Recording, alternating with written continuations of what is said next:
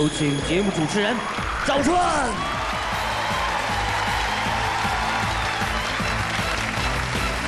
谢谢谢谢现场的观众朋友们，谢谢大家。欢迎电视机前的观众朋友走进天津卫视的大型情感节目《爱情保卫战》。试一下今天请到的老师，他们是著名的节目主持人沙娜沙老师，欢迎沙老师；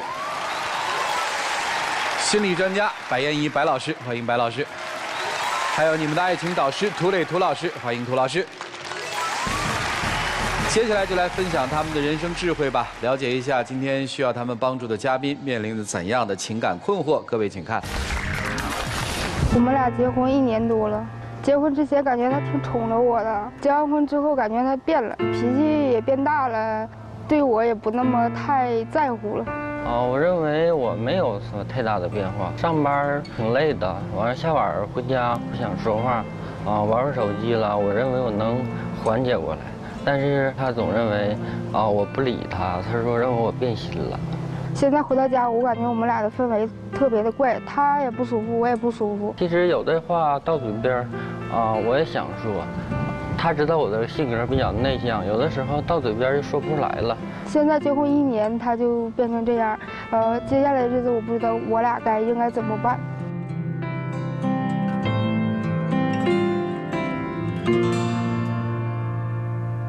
掌声有请这一对，有请。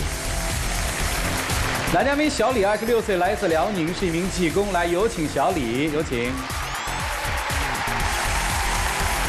女嘉宾小平，同样二十六岁，也来自辽宁，是一名业务员。来，有请小平，有请。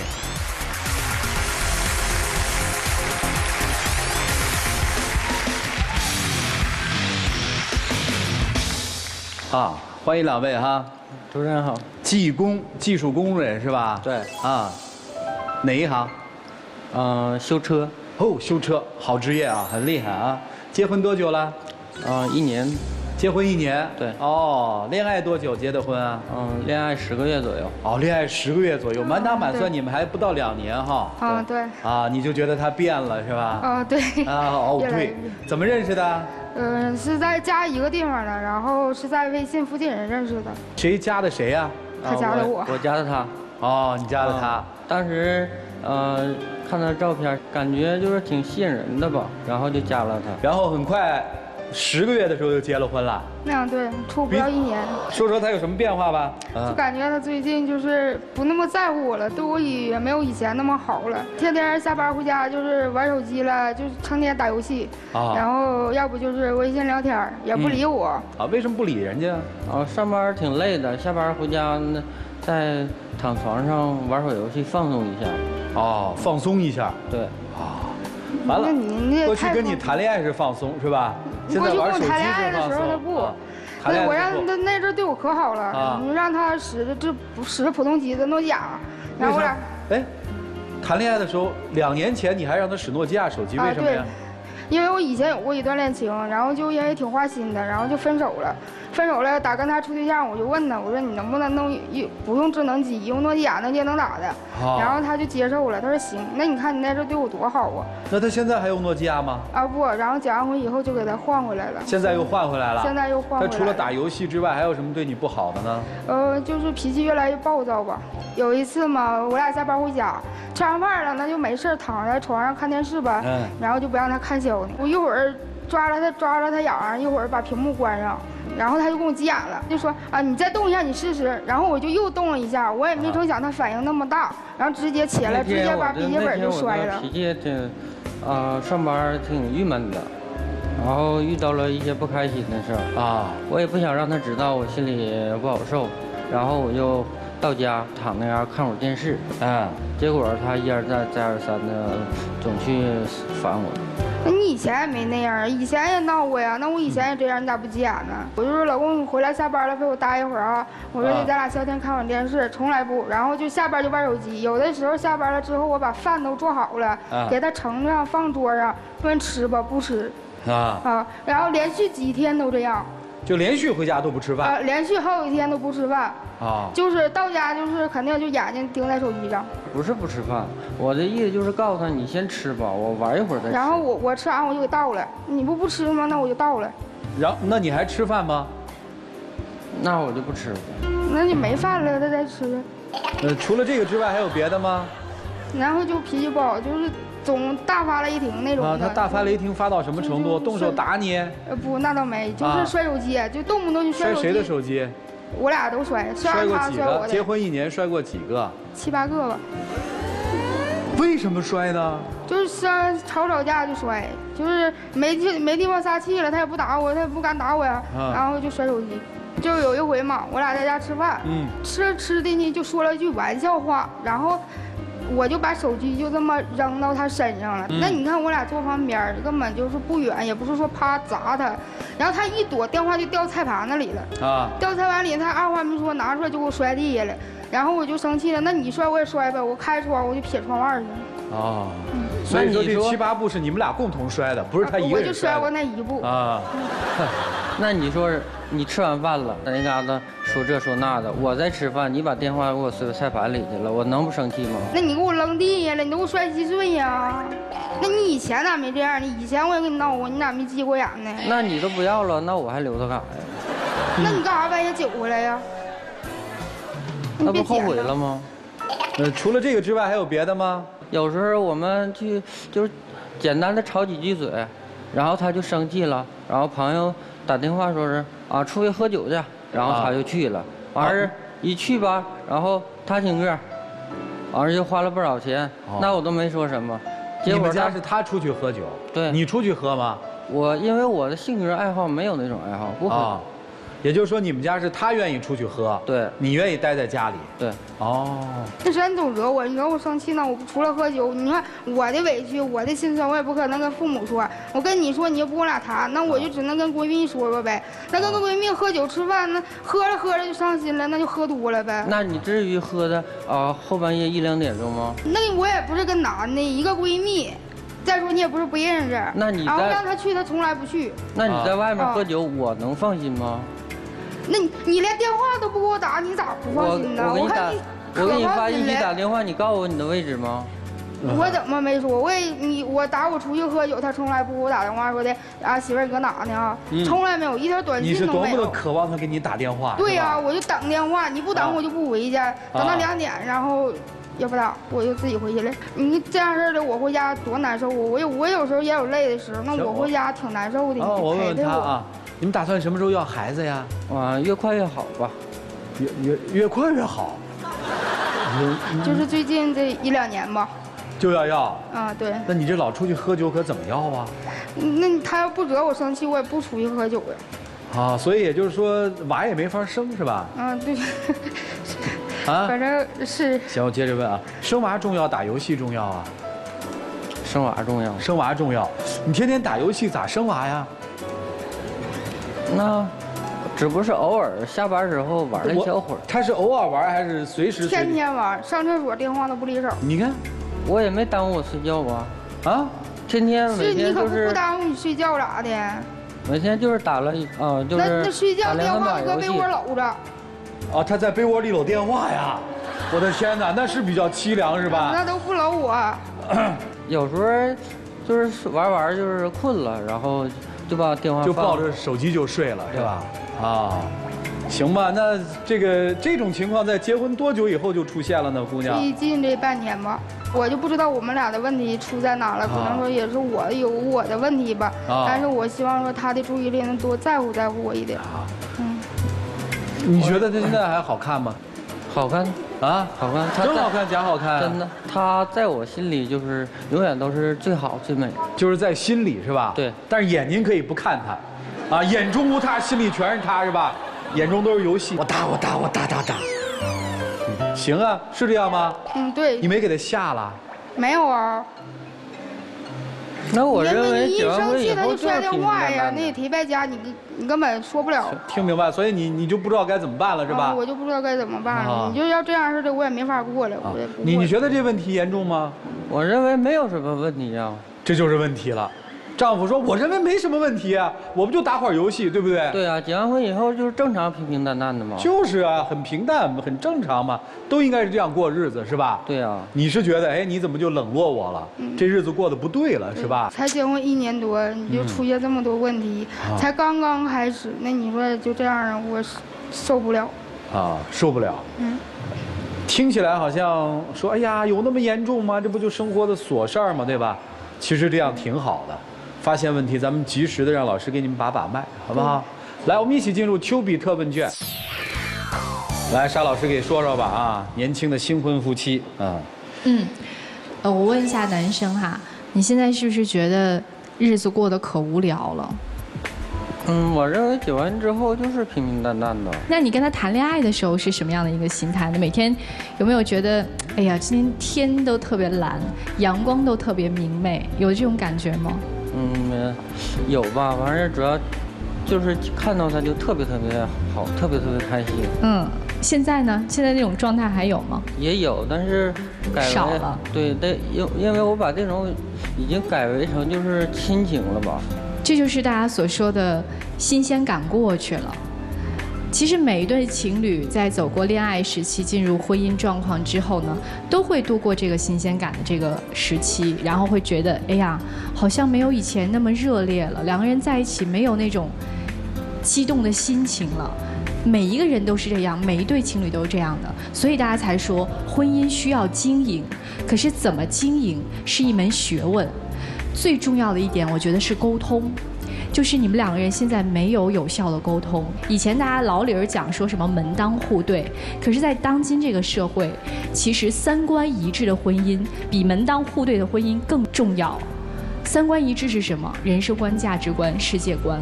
我们说的太大了，往小说，就是你懂他，你了解他，你跟他有共同语言和共同话题，甚至高一点的是有共同的奋斗目标。所以你们两个人现在缺乏一种共同的东西，把你们俩拧在一起。所以你们两个人应该找一些共同的爱好、共同的话题，这样的话两个人就不会觉得没话说。两个人结婚之后日子越过越平淡是对的，我们是要平平淡淡过日子，可是不能说拿平平淡淡过日子当借口，当不去沟通、不去交流的借口，明白吗？所以我觉得。接下来两个人要有一个共同的目标，比如说想要要孩子了，那我们共同为要孩子去努力，还可以比如说一起出去旅个游啊，换一换环境啊。人在改变环境之下的时候呢，两个人的那种状态就会发生改变。努力的去靠近他，理解他一下。男生也一样，要去学会关心女生，要知道他在想什么，不能沉浸在你自己的世界当中，好吧？好，谢谢。好，谢谢沙老师。来，海老师。我觉得一个男孩子二十六岁，然后把生活过得那么的老龄化，才结婚一年，所有的快乐、所有的激情、所有的澎湃的东西都丧失了。你这个找的不是媳妇儿，或者是你以找媳妇儿的名义给自个儿找回了一个妈妈的接班人。妈妈回来给我做饭，给我洗衣服，不用打扰我，我愿意玩什么玩什么，然后还不嘚啵我，或者偶尔嘚啵嘚啵，我也当没听见。您这是分明是找妈的节奏，不是找媳妇儿的节奏。夫妻之间是需要沟通的，相互有交流的。所以我觉得你这个定位，把自个儿还弄到一个大男孩的这个状态上，这个有点太强人所难了。因为你的妻子她跟你年龄。一样，他也需要你的呵护关心，但这时候你老使用他，但是你不给予他，他当然跟你急了。然后我觉得这个女孩就是太理想化了。你觉着婚姻当中就是天天一下班，然后就就得俩人在那儿老是促膝长谈、耳耳鬓厮磨的，那是电视剧，那也不是人生。所以我觉得你们俩应该去有一些共同的正经的一些。生活当中的有意思的事情，比如哪怕是说你们去说为了生小孩有一个健康的规划，你你这天天一生气就出去喝酒，完全是一个怨妇的一个处理情绪的方式。所以要想改变，把你们的婚姻进行一个调整的话，你得活得让自己显得矜持一点儿这个男孩子也是，你要知道女孩子的心。不是说你给他拿一张结婚证就能锁得住的，你得用爱，得用关心。谢谢二位。好，谢谢谢谢白老师。来，郭老师。女生说结婚才是刚刚开始，男生说爱情已经结束了。男生刚刚说了两句话，是有很多人在结婚之后经常说的话。第一，结婚之后的日子就应该是平淡。错，应该平淡中制造一点点浪漫。男生说我们现在只剩下亲情，这也是很多男生的口吻，也是错误的。结婚之后是亲情式的爱情。你结婚之前吧，是两个人情投意合；结婚之后就加上了志同道合。所以在结婚之后也是有爱情的，只是亲情式的爱情。结婚之后的确没有结婚之前那么一些激情和冲动，但是一定要制造一点点浪漫。说白了，其实你们俩没想着怎么好好过日子。如果彼此之间有想好好过日子，今天存个一瓶米，明天买个新电器，后天去旅旅游，然后再做一个短期的生孩子的计划，日子才能一步步往前走。如果你们俩根本没有计划，如果你们认为结了婚之后就像两滩死水，没想着往前奔，那你这日子是没有盼头。女生，你说男生对你太冷淡。如果两个人生活在一起，你所有的秘密他都知道，生活当中习惯一览无余。结了婚了，不需要装饰自己了，反正你都了解我，我索性就这样，那当然是索然无味了。即便是在结婚之后，每个人也应该有日新月异的变化的，比如说变得越来越会打扮。变得越来越漂亮，变得越来越上进，变得越来越热爱自己的工作。那么每个人的精神面貌是会逐渐变化的。但如果你没有变化，没有了结婚之前的那种喜欢打扮、那种少女的娇羞，也没有了生活之后的那种贤惠、操持家务，你说你这女人越变越丑了，每天喝酒，满嘴的酒臭味儿，你说谁会对你感兴趣？所以说，结婚之后，我们称之为妇人。富人就应该有有富人的样子，富人应该有富人的风韵。你只有每天不断的变化，精神上的饱满，审美上的变化和对于日子本身的勤奋，这个女人始终是保持新鲜魅力。你没有，对于男生也一样是如此。结了婚之后的男人一定对自己是有责任心上的要求。我工资下个月要涨一点儿。到明年我这职位要升一点对吧？我明年我也要为家里多挣一点两个人如果都有往前奔的这种意思，那你们每个人身上会很自然的焕发出一个婚后的男性或女性的魅力。但事实上是很多人结了婚之后，活得还不如结婚之前。结婚之前还会打扮打扮啊，或者在被对方面前装一装男性的魅力，去健健身。但到结婚之后，一切都算了。反正这鱼儿都上钩了，我干嘛还对自己严苛要求呢？就这样吧。所以，当一个人已经不注重在对方面前自己的形象的时候，已经开始堕落了。日子是越奔越有奔头的，是越往前走你越有希望的。叫今天比昨天好，明天比今天好，两个人才生活的有劲儿。对吧？所以说，这就需要双方在生活当中制定共同的目标，彼此有商有量。亲爱的，今天你工作怎么样？咱们是不是明天计划着去看看房？哪怕不买，也作为我们一个目标。那么彼此就有交流了。所以说，不要把生活过成离婚之后的样子，永远要把它过成是希望明天比今天更好的样子。想过就好好过，不想过就好好散。好吧，就这。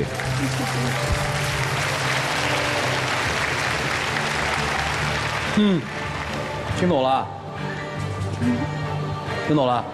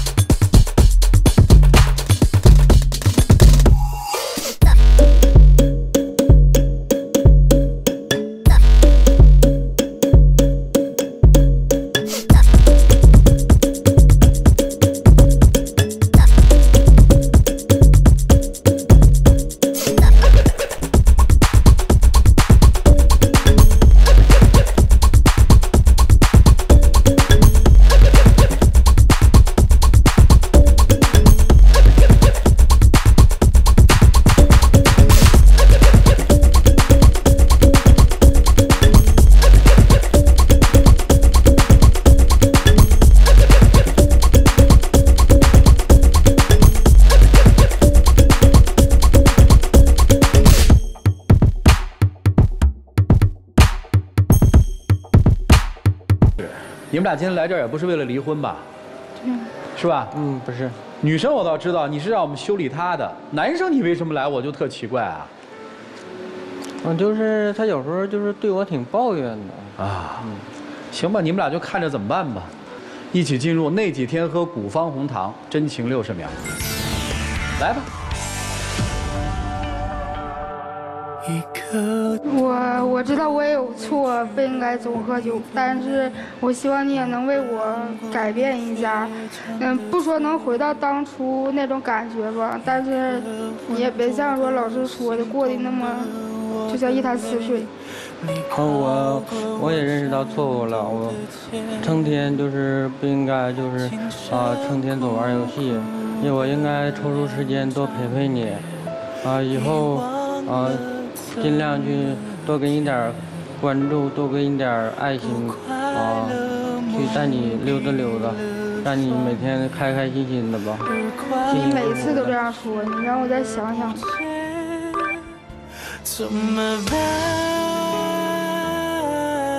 行了，时间到了，你们俩这生活，给你们说的都味如绝蜡啊！行了，两位请回吧，谢谢你们，回去吧啊。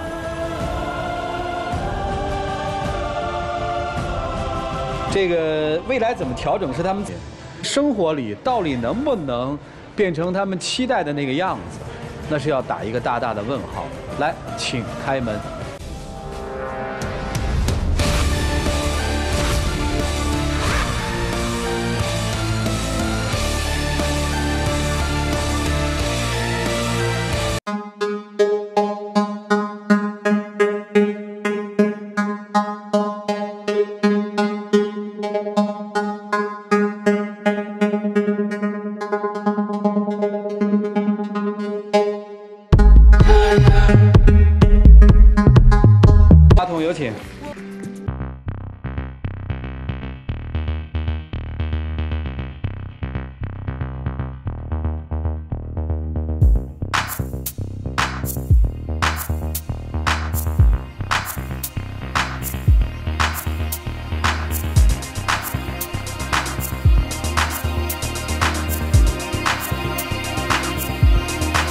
他们自己的爱情吧，请见证各位。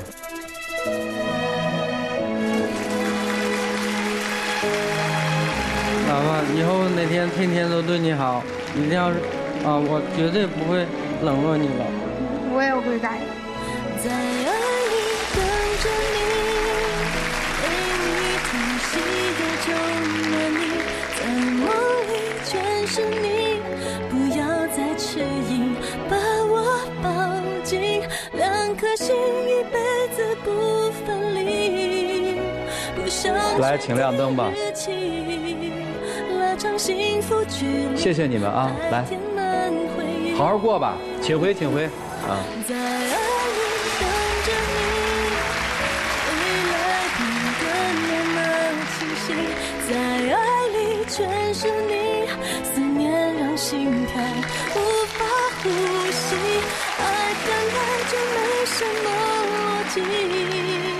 看到这种这种婚姻状态的时候，其实你挺害怕的。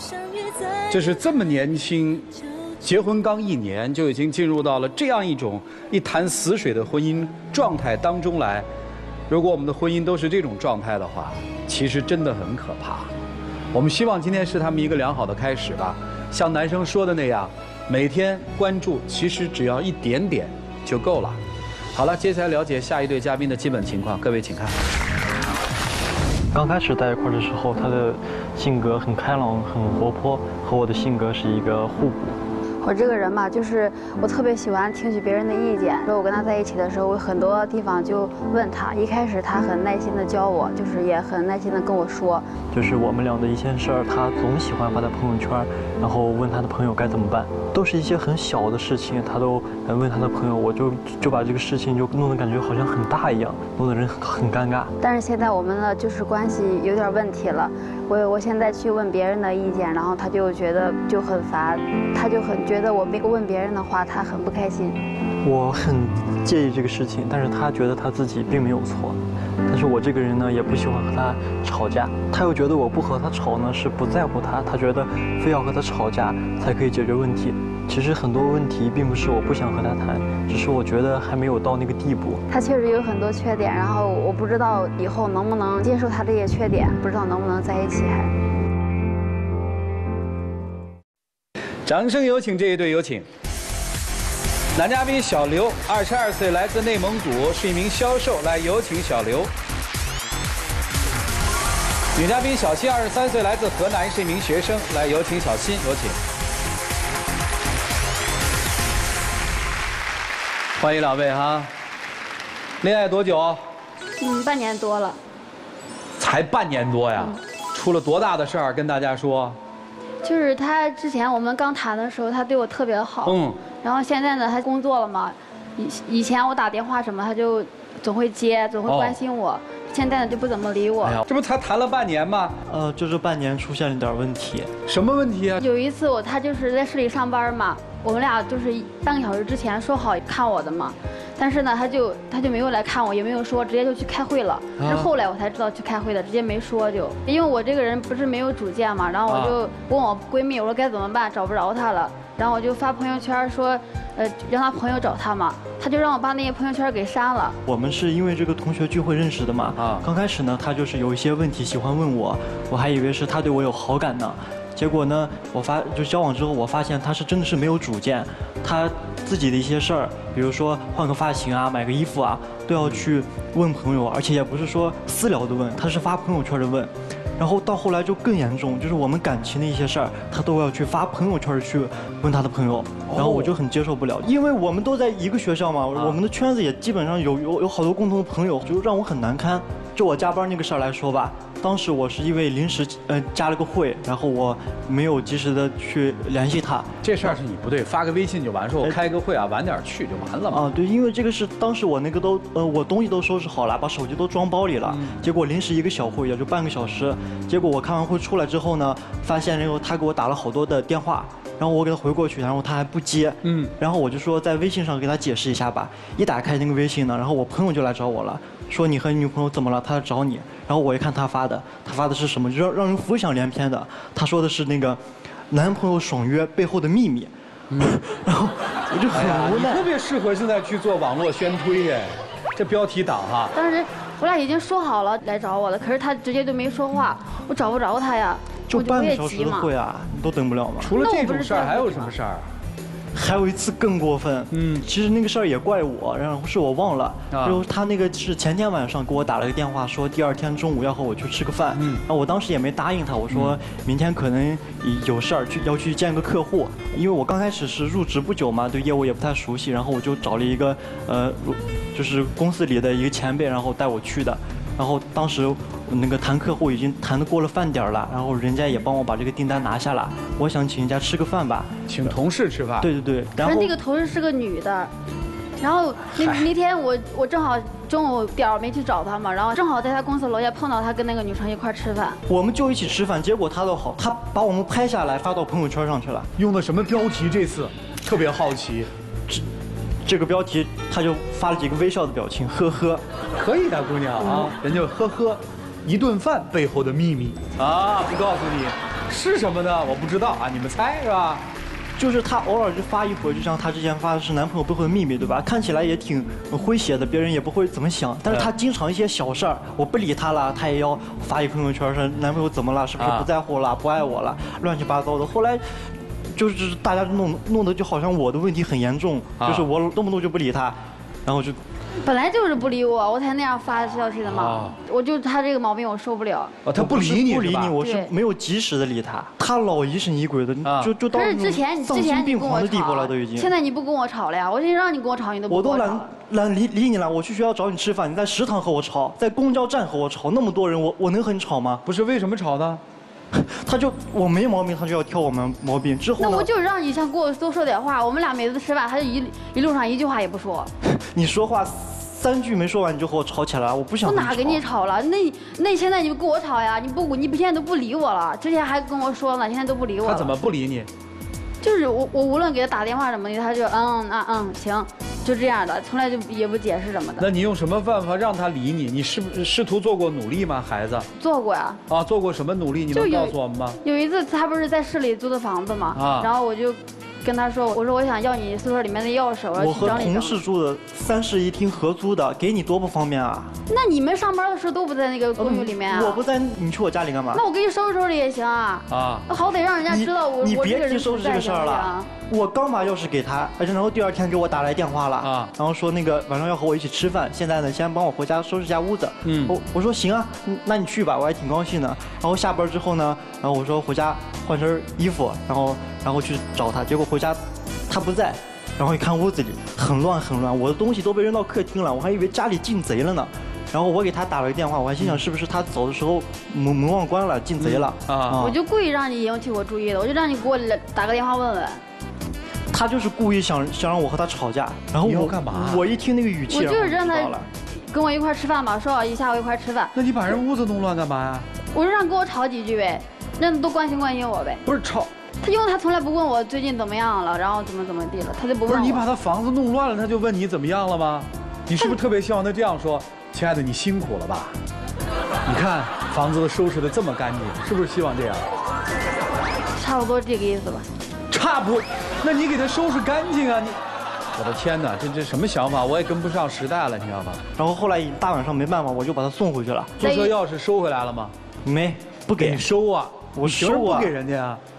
为什么要给他呀？我还我以后还要进去呢。哎呀，那你的租的房子的钥匙还在他手里？还在他手里。换锁呀？对，我换了，我真换了。然后啊，你这孩子还行。我和他要了好多次，他不给我，我把锁换了，结果可倒好啊！别提了，他去找我对吧？拿那个钥匙开不开门？他直接给我锁芯门塞东西。那会儿我都气炸了，我忍无可忍，我真的是。那有啥不能忍的？你给我。你给我锁线都塞东西了，我怎么忍？我住不住了那房子还？我再换一次，我换了两回锁。所以说你就去找我了呀？那那不正好吗？然后我就觉得你找我去就是应关心你就想让我和你吵架是吧？对啊。哎呀，行，姑娘，你说说你对你们俩感情的规划好不好？我听听啊。我现在有点恍惚。一开始我都觉得他特别有规划，然后我觉得他特别好啊。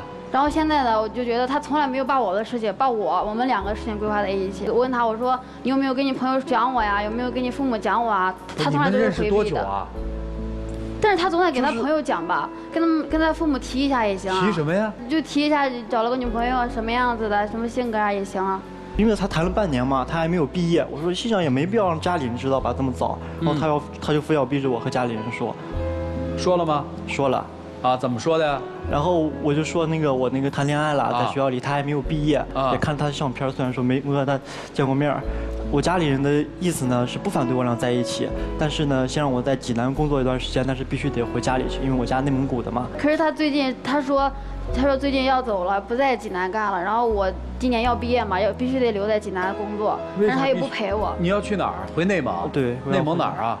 鄂尔多斯哦，回鄂尔多斯。嗯，你要留在济南是吧？对，因为学校给安排的工作必须得实习嘛，必须在济南工作。就实习完了再去鄂尔多斯。可是我我受不了异地恋，因为我上一段异地恋就是这样结束的。哎呀，那还怎么办呢？我就觉得他不是现在要要走嘛，我就说能不能在济南就留个一年，因为我要实习嘛。但是他不愿意，他说他在一年在济南也待够了，不想在这待，要回家。他家里人要他回家。嗯。我说就就一年，他就不愿意。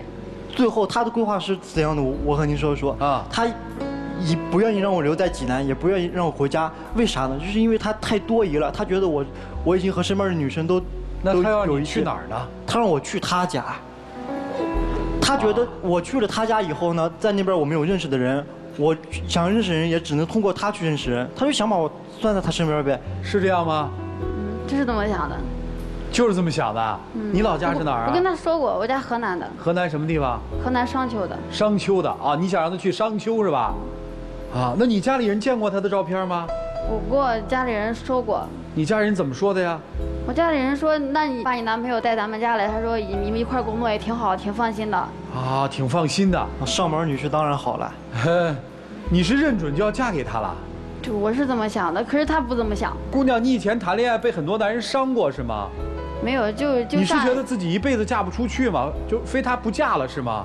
就是，我确实挺喜欢他，但是因为这件事情，我就觉得我不知道该怎么办了。他前一段感情就是因为异地恋分手的，所以说我就想让他在济南，他不是在济南实习嘛，他等我一年。那你就在济南再干一年呗。我家里人让我回去，因为我在济南干了一年，然后发展的也不是很好，我家就想让我。你跟我说句实话，你是为了躲他要回老家，还是为了回老家而回老家？说实话。嗯，两部分都有吧。你看，害怕了呗，要跑，听明白没有啊？人家是要跑，你觉得他现在心里还有你吗？我也不知道。哎呀，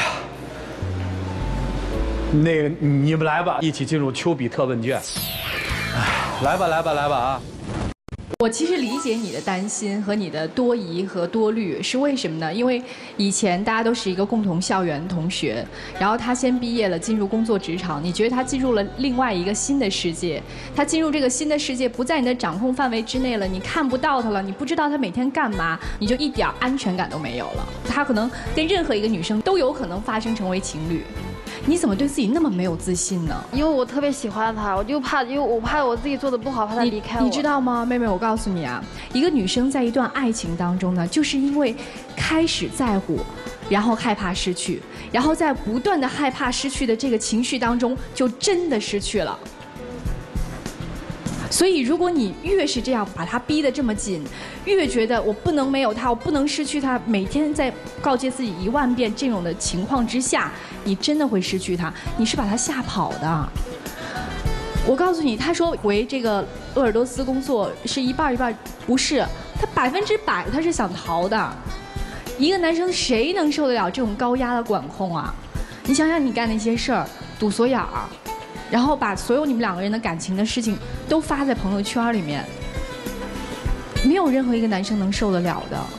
所以我觉得，你当下要做的不是说再去怎么看紧他，然后挽留他，让他留下来。你现在要做的是丰富自己，你要有自己的生活。你的生活难道每天二十四小时都围着他转吗？就算你们两个人以后有未来，他为了你留下来，你们要往婚姻的这个过程这条路上走的时候，你这一路走过来，你得多累呀！你每天都担心他跟别的女生怎么样，那天下女人多了，你担心得过来吗？所以，如果你要是一直强势的加压给他这样的压力的话，你们两个人肯定没有未来。而且，包括就算你结束这段感情，进入下一段感情，你还是以这样的一个姿态、这样一个状态的话。下一段感情也长不了，你会吓跑一个又一个的男人，知道吗？好，谢谢。来，白老师，这小姑娘让我听着觉得挺心疼的。嗯，因为一个从来没有真正的感受过爱的人，他对爱才会如此的不信任，他会去不断的质疑爱。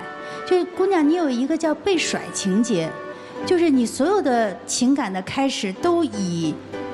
自己被甩作为你的一个期待，所以你所有的情感都是验证着我最终是要被甩的这个方向是往这个方向去走的，然后不往这个方向走，你还努力制造各种的条件要往你被人甩掉的方向去走，就是说你得有多不信任爱这个东西，你得有多不信任你自己，所以你要是不把这个被甩情节给改变的话。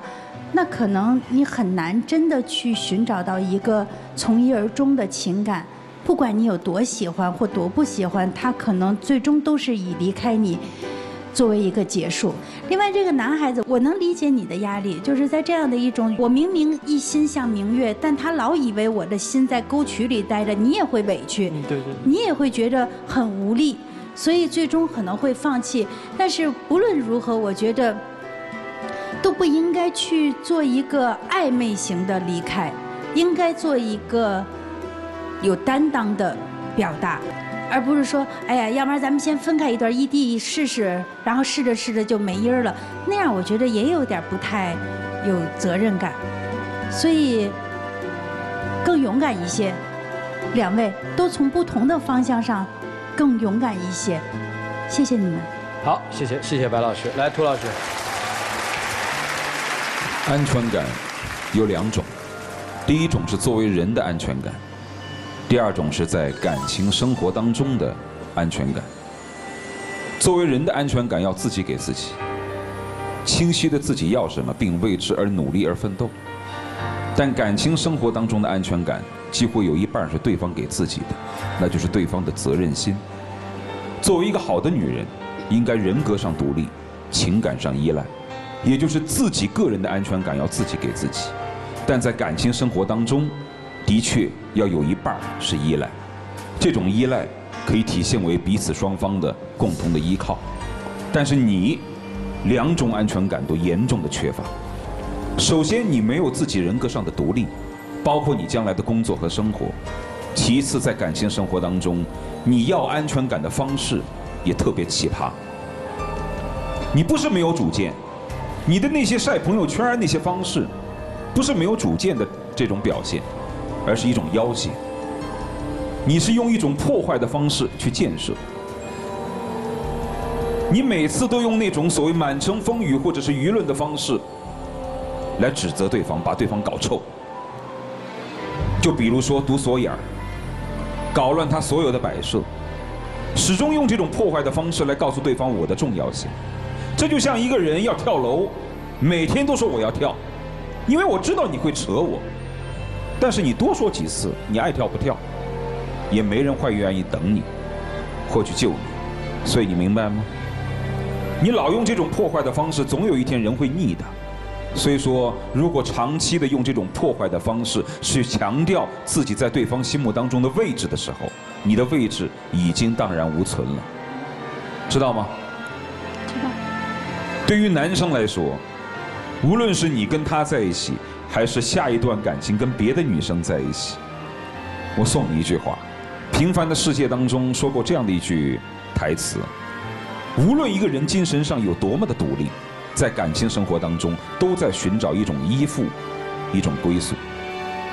其实，女人有的时候并不是想要明确的知道你的地点，要明确的知道你跟谁在一起。他只是想让你知道我在惦念你，你只需说一声我在哪儿，你放心就好。无论跟哪个女生相处都是这样，但坦率的来说，你做不到这一点。所以，对于女生来说，你要做到自己人格上的独立和成长。此外呢，你要找一个相对于了解你、相对于成熟的男人，才可能引导你的这种不安全感，而他不是。你觉得你是吗？那就走吧，就这。好，谢谢啊。嗯嗯，先把自己找回来，再谈恋爱吧。别谈了，姑娘，你这么谈没个好。谁会对你好呢？你都不对你自己好，谁会对你好呢？你指望他们对你好，没有一个男人敢对你好啊。成熟男人不喜欢你这类型的，受不了啊。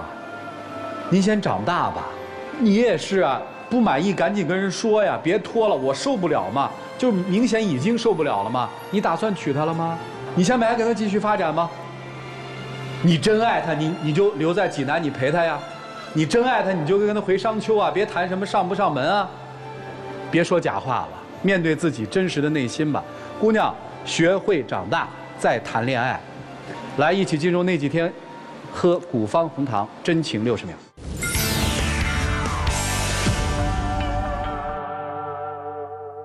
你现在请回吧。哎，特别奇怪啊！老说这扇门太神奇了。来，请关门。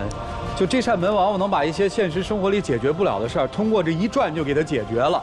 比如说明明知道我们俩不合适了，我来这儿嘛，转一下，我走的可能会好一些。你还告诉他不要暧昧的分手，要有责任的分，还这样呢？吧，看看这对年轻人到底成长了多少。请开门。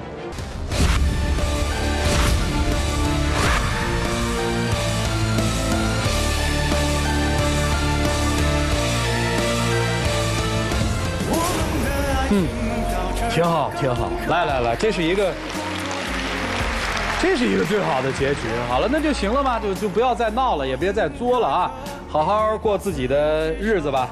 接下来一起进入伊贝诗爱情保鲜剂。